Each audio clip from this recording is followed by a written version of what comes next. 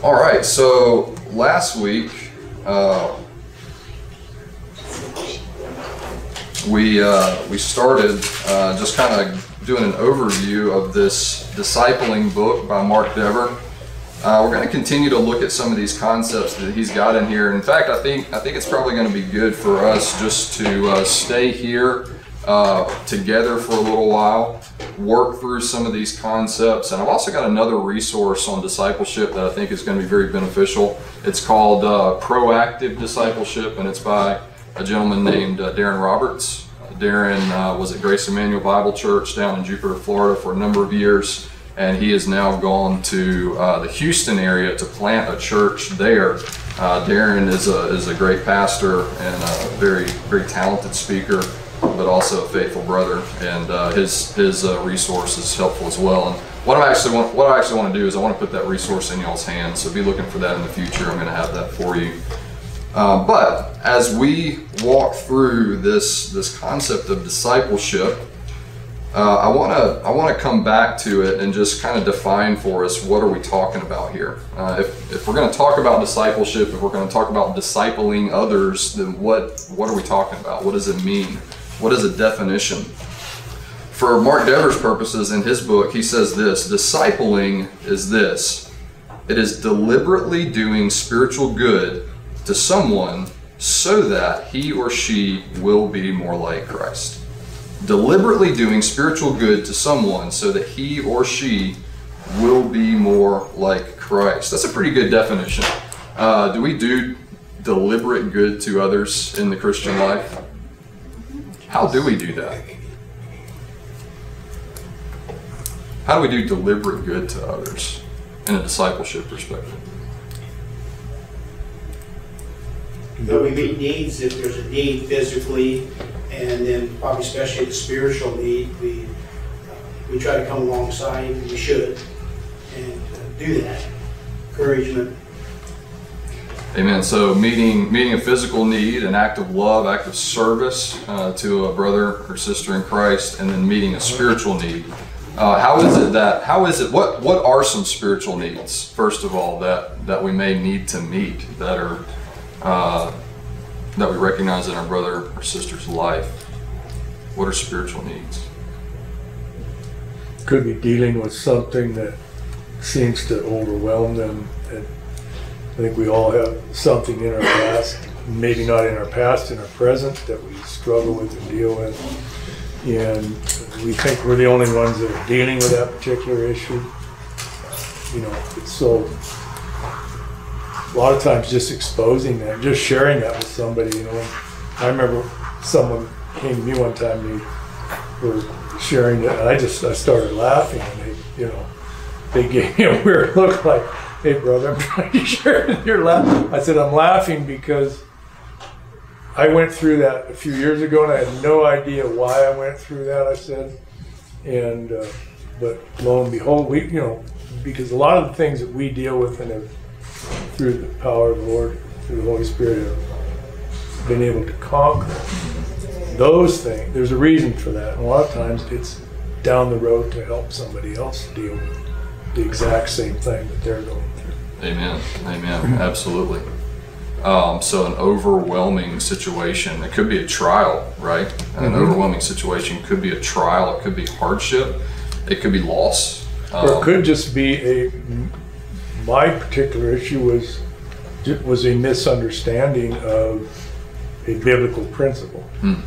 Thinking, well, why does this keep coming back? And what, Hmm. what's the issue here? And understanding, and being able to understand that um, was, was a real blessing. Amen. Amen. What else? a sense of connection.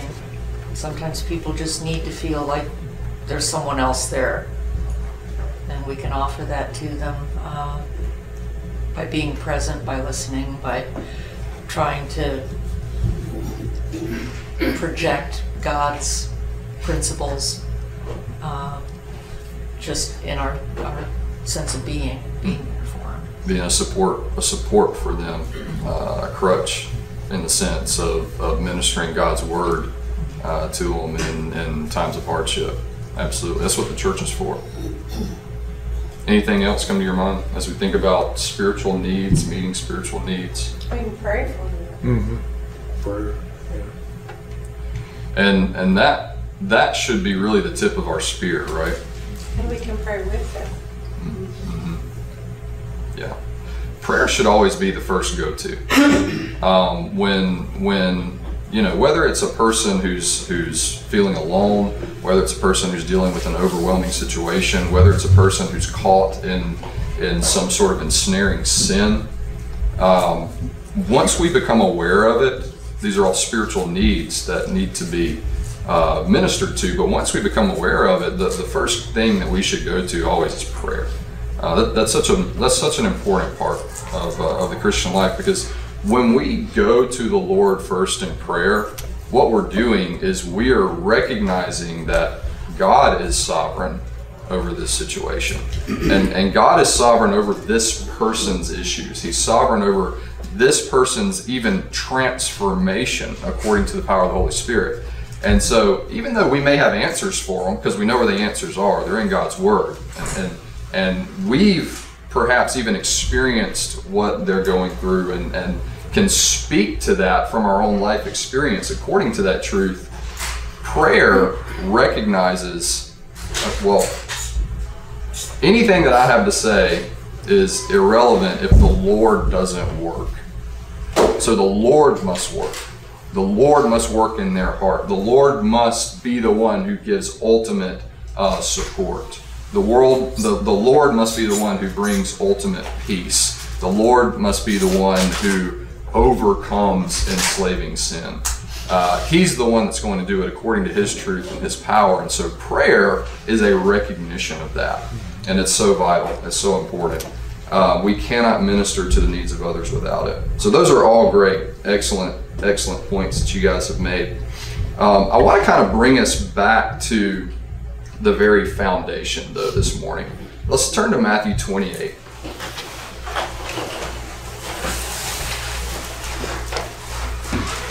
Matthew 28, very, very uh, familiar passage that we're going to look at real quick here. Matthew 28, 18 through 20. The reason why I want to go back to this is because this is the foundational mission of God's church. This is what God has established for the church to be doing. Therefore, this is what God has established for us who are in the church to be about. This is this is what our focus is is the Great Commission. But wrapped up in the Great Commission is our topic that we're talking about this morning. So, somebody want to read verses 18 through 20, Matthew 28? I will. Okay. Uh, And Jesus came and said to them, All authority in heaven and earth, and on earth has been given to me. Go therefore and make disciples of all nations, baptizing them in the name of the Father, and of the Son, and of the Holy Spirit, teaching them to observe all that I have commanded you. And behold, I am with you always to the end of the age. All right, thank you. So, what's the very first thing that we're called to do in this commission? Go, and then there is a connecting command with the go. What's the what's that? Go and Teach. Make disciples make disciples, right? Go and make disciples. Go and make disciples. Okay, so we've got a command, we've got an imperative. It's uh, it's actually you, you could say discipleize in the in the Greek uh, is is how this actually kind of comes forth. It is it is to transform, to to make disciples, make followers. Um, but first, before we can do that, we have to make absolutely certain that we are disciples, right? Um, you can't make disciples unless you're a disciple.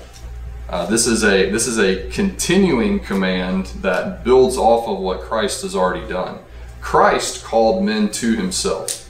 He called them to come and follow Him.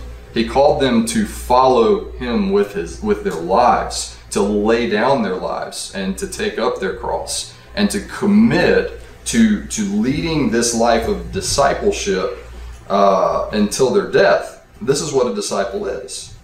And so let's just define that real clearly. What is a disciple in fact, this term, disciple, in the New Testament. A disciple is someone who follows another. Someone who follows another. Now, the, the word there, mathetes, the root of this word points to the mental effort needed to think something through. So this is about learning. Uh, that's that's where the root comes from. It, it is a it is a seeking out knowledge, a seeking out learning. So to be a mathetes, a disciple, is to be a learner. It is to receive instruction. A disciple is someone who follows a teacher, deriving learning from the teacher's knowledge and modeling how the teacher applies that knowledge in life. In the Jewish world, a disciple would voluntarily join a school or otherwise seek out a master rabbi. A man is then called a disciple when he binds himself to a teacher, to someone else, in order to acquire his practical and theoretical knowledge. This may come in the form of an apprentice in a trade, a student of medicine, a member of a philosophical school, or any number of other areas. But a disciple is someone who is learning, someone who's learning. And the way that they're learning is by following another, following the model, you could say, the model of the knowledge that, that they want to bring to themselves. That's what a disciple is. This concept of discipleship applied in the New Testament then becomes synonymous with being a Christian. A Christian is a disciple. A Christian is a follower of Christ who learns the doctrines of Scripture and the lifestyle that these doctrines require. That is a little bit different of a definition than what some people think of when they use the term Christian today, right? Yeah, that's for sure. What what are some what are some popular ways that we have redefined what being a Christian is in our society? I go to church. I go to church, mm-hmm.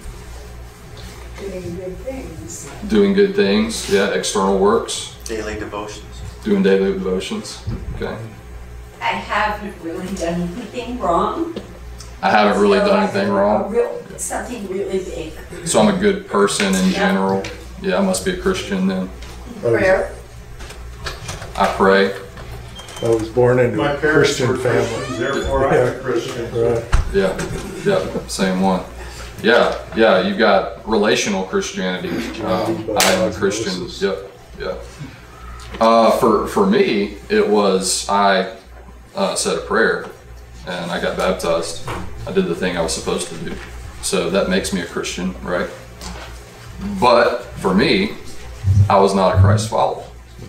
See, I, I checked off the boxes that would get me into heaven when I died. But then from the time that I got the box checked off to to the time that I was going to go into heaven, I was going to live for myself. I was going to make the most of it. And the theology that, that I learned as a child allowed for that. Um, call it carnal, the carnal Christian. The carnal Christian is someone who has said some sort of prayer, made some sort of intellectual decision, and, and aligned themselves with the moral standards of Christianity in one way or another, but then fallen away from that and are now living however they want to. But because they checked off the box, that means that they're good when they die. In fact, that's what they'll tell you. Don't worry about me, I'm good. I'm fine. I've got that taken care of. But that's a foreign concept to the New Testament. That, that is not what Christianity is. Christians were first disciples, they were first and foremost followers of Christ. Turn to Matthew chapter 4.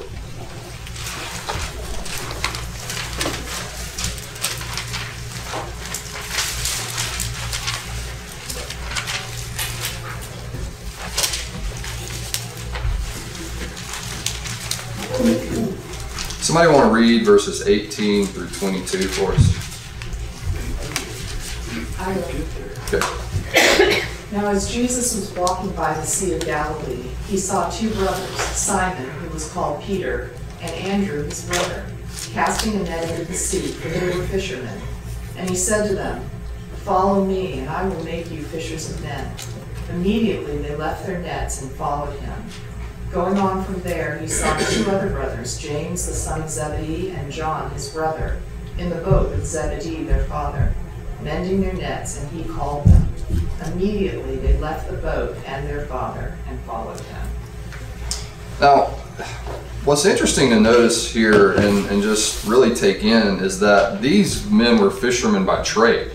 Uh, this was their job, this was their livelihood. And in the first century, if you didn't have some sort of livelihood, there wasn't really a welfare system that you could fall back on. Uh, there wasn't government housing and, and projects and all that sort of stuff and food stamps and everything else. Uh, you couldn't just go live on the street and expect to get a handout from anybody that you came across. In this in this time period, if you didn't have some sort of livelihood, the it was very it was a very uh, real situation that you and your family could be put out and starved to death, or you could be sold into slavery to pay off your debts. Uh, it is not like the time that we lived in today. And so these men were fishermen. They, they had learned to be fishermen, probably from their fathers, maybe from an apprenticeship that they had had with other men who were fishermen. But they had learned this trade, and it was by this trade that they fed their families, and by this trade that they made their money, and this was their livelihood. And, and some of these men did have families. And so Jesus coming to these men and saying, Follow me, is essentially saying, Look, leave everything that you know behind, leave your livelihood behind, leave your source of comfort behind, and come and follow after me with this uh, mission that I am about to accomplish. Come and be my disciple. Learn from me. And they understood that. They understood they understood that he was a teacher. They understood that he had truth to minister to them. And so for them that was more important than their livelihood and they trusted him. So they followed him. So that concept of, of leaving everything behind to follow Christ in, in this journey, a journey that they were now embarking on that would last, last the rest of their lives and would lead many of them to their deaths. Uh, that's what they were committing to. And so for us today, when we, when we follow Christ, when we trust in Him, do we really understand what it is that we are committing to? Are we willing to leave it all behind, lay it all down for the sake of following Him? Turn over to Mark chapter 8.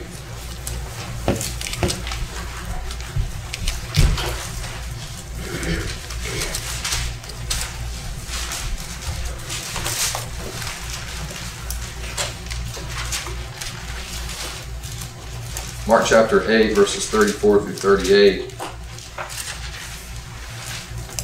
I'll read this one. It says, And he summoned the crowd with his disciples and said to them, If anyone wishes to come after me, he must deny himself, take up his cross, and follow me. For whoever wishes to save his life will lose it, but whoever loses his life for my sake and the gospel's will save it. For what does it profit a man to gain the whole world and forfeit his soul? For what will a man give in exchange for his soul? For whoever is ashamed of me and my words in this adulterous and sinful generation, the Son of Man will also be ashamed of him when he comes in the glory of his Father with the holy angels. So, what does discipleship cost? What does it cost? Everything. Everything? One life for another, One life for another? life and another life. What else? Luke even goes harder on that, it defines a little more, he says, Now great multitudes went with him, and he turned and said to them, If anyone comes to me and does not hate his father, mother, wife, children, brother, sister, yes, his own life, he cannot be my disciple. And we know in context, but you love them less than the Lord Jesus Christ, but that's a hard saying. Mm-hmm. Because many people, they can't get to that point. They'll, they'll forsake what God has called them to do over family. We've seen that. And so it's a hard saying. Yeah, yeah. Amen. Amen. Yeah, and, and on one side of it, salvation is free, right? Now, we receive salvation solely by the grace of God, but discipleship costs everything. So, the following of Him means that we are willing to lay down everything relationships, career, uh, possessions, even our life. We are willing to lay down everything for the sake of Christ, put it all away to follow Him. And so, coming coming back to where we first started, we must understand this because in order to make disciples, that that very fir- the very first part, in order to go therefore and make disciples, we have to be disciples, but we also have to be able to communicate what discipleship is. We have to be able to communicate to the lost that listen, this is following Christ. This is turning from a lifestyle of sin and turning to following Jesus as Lord. That's what discipleship is. That's what being a Christian is. And if you are going to be a Christian, this is what you must do. And that is an impossibility. So you can only come to Christ through the transformation of the Holy Spirit within your heart. God does the work, therefore you follow Him. That's what discipleship is. So if we're going to make disciples, that's the message that we have to preach to them. That's the message that we have to take to the world. So that brings us to the question can a person be a Christian and yet not be a disciple? Can a person be saved and not follow Jesus as Lord? Can they? Are they truly saved? That's the question, right? That's the question. And now there may be people that you run across in life, and, and I can think of many in, my life, who they say they're Christians, maybe they go to church, maybe they pray some, uh, maybe they do some of these other things that you guys mentioned. But when you look at their lifestyle, when you look at the trajectory of their life, you can see very clearly this person is a me follower and not Christ follower. And so there may be a time that you ask that person, that you bring that to light, and you say, listen, you, you, you say that you're a Christian, but do you understand being a Christian is not simply about some external actions and it's not about something that maybe you did back in your past. It is about what you're doing right now. It is about the trajectory of your life. Can you honestly say you are following Christ, that you're following Jesus as Lord right now in your life with your life's decisions? Can you honestly say that? And posing that question to them perhaps may be the truth the Lord uses to bring them to Him. Now, it may also be the truth that God uses to harden them even further and turn them away from your counsel. Uh, that's just the reality of it. But at the end of the day, you can step back and you can say, I was faithful to give them the truth because I love them. And if you can say that, that's all that matters. That's all that matters. Because once again, back to prayer, we are not the ones who are in control of the outcome, right? We can't control the outcome. We can't control other people. But God, through His power, can transform the hardest heart through the speaking of the truth of the gospel. So, the first part of the Great Commission go and make disciples. It means teaching people what discipleship actually is. Okay, so let's say that we've done that. Let's say that we preached that message. And let's say that a person has come to know Christ. So, so they've come to accept Him. Has this commission been fulfilled in their life? That's where it starts. That's where it starts. That's where it starts. Great point. Uh, the act of fulfilling God's directive to the church, it is an ongoing commitment to discipleship. Teaching all those in the church to obey everything that Christ has commanded, everything that Christ has handed down to us. That's what the Great Commission says, right? We're to go make disciples of all nations, baptizing them in the name of the Father, Son, Holy Spirit. So we're bringing them into the local church. We're baptizing them, public profession of faith in, in, in the witness of the church, which means churches have to be there. So churches have to be established in order for that to be the case. And then within those churches, we are teaching them to obey all that Christ has commanded in His Word. Now, that for us today is the completed canon of Scripture. From cover to cover, it is the Bible, Old and New Testament. We are teaching disciples to obey everything that has been presented in the Word of God. Can we do that in a week? How about a month? How about a lifetime? Hopefully. We we might get somewhere in a lifetime, but we're probably still not going to teach them everything that needs to be known because I don't know everything that needs to be known in here. Maybe some of you do. Um, if you do, you can teach me. But for all of us, this goes two ways. If we're disciples of Christ, then this is, number one, for me personally, a lifetime of personal commitment to studying God's Word, to, to, to mining out the riches and the truth that are in God's Word, and conforming my life, my mind, my actions to the truth of God's Word. And then it's also turning and helping other people, other believers in the church, to also do the same. Helping them to learn the fullness of the truth of God's Word, conforming their minds and their lifestyle to it. That's what the Great Commission is. The Great Commission is a lifelong commitment to discipleship, and it is a reciprocating mission, meaning that as Jesus called his apostles to make disciples and teach them to obey everything that he had commanded, they are then calling new disciples, teaching them to obey everything that he commanded, which includes the going out and making of disciples. So the Great Commission is a constantly reciprocating process. And it's not going to be fulfilled in its culmination until that last day, until Christ completes all things. And so that's our work. That's what we're called to do. And it's a work that isn't completed until that day. And so this is what we are to be about. Now, what that means for us is that we can't simply be Lone Ranger Christians. Uh, Christians can't exist outside of a local church. Well, you can try, but you're going to starve to death.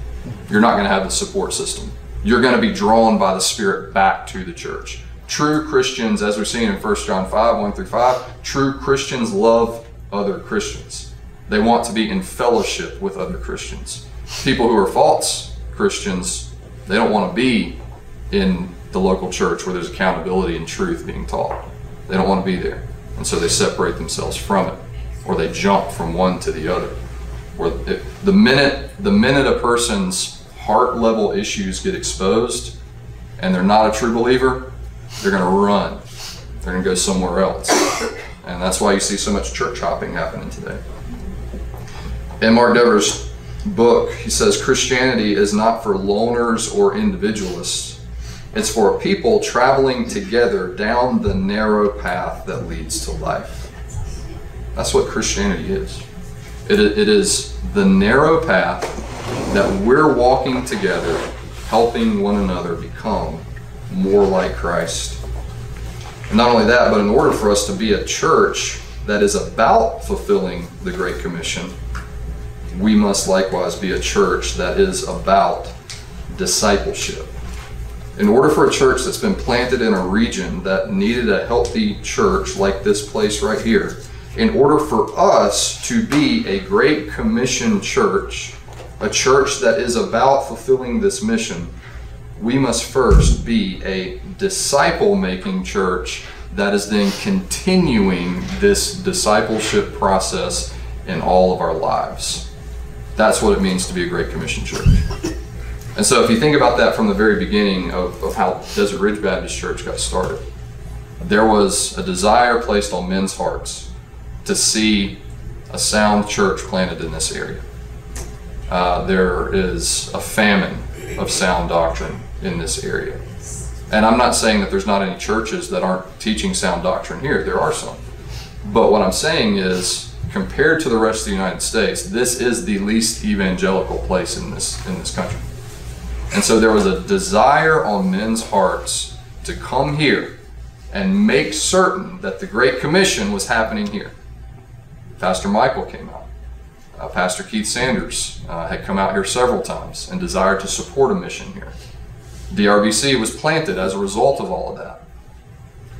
Desert Ridge Baptist Church has resulted, the ministry of Desert Ridge Baptist Church has resulted in salvation uh, in people's lives. It's resulted in discipleship in people's lives. And now the Great Commission falls on this church to go, therefore, make disciples of all nations, baptizing them in the name of the Father, Son, and Holy Spirit, teaching them to obey all that Christ commanded, which goes out from here out to the ends of the earth.